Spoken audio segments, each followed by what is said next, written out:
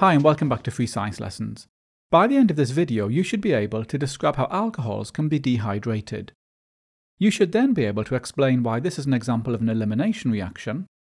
And if you're following the AQA spec, then you should be able to outline the mechanism for the dehydration of alcohols. Okay, I'm showing you here the alcohol cyclohexanol.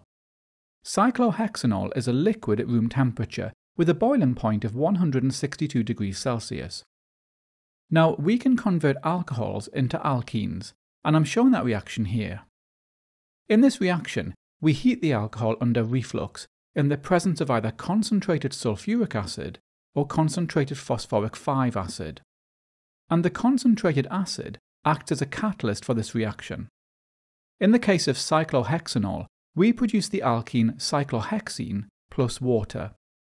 Cyclohexene has a boiling point of 83 degrees Celsius, so at the end of the reaction we can purify the cyclohexene by distillation.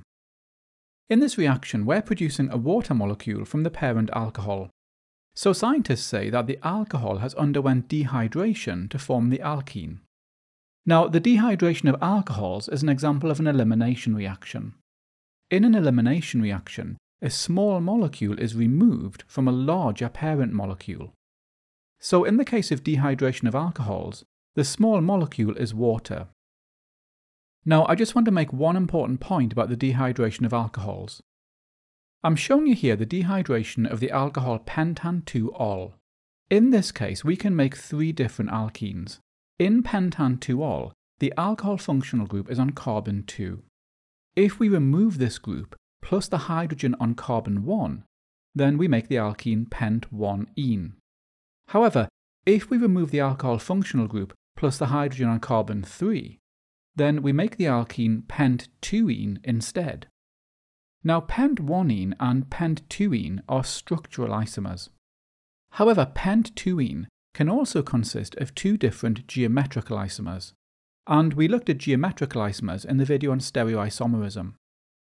We can make cis or Z pent-2-ene, as well as trans or E pent-2-ene, and I'm showing those here. Okay, now if you're following the AQA spec, then you need to be able to outline the mechanism for the dehydration of alcohols using a concentrated acid catalyst. In the first stage, the lone pair of electrons on the oxygen atom are attracted to the positive hydrogen ion from the acid catalyst. The lone pair now forms a covalent bond to the hydrogen ion. We've formed an intermediate molecule with a positive oxygen atom. Now the pair of electrons in the covalent bond between the carbon and oxygen move on to the oxygen atom, and I'm showing this in red. This causes a molecule of water to be released. At the same time, the pair of electrons between a carbon and hydrogen now move between the two carbon atoms, and I'm showing this in blue. This means that the hydrogen is now released as a hydrogen ion. So at the end of the reaction, we have the product alkene and a water molecule. We've also regenerated the acid catalyst. Okay, so hopefully now you can describe the dehydration of alcohols.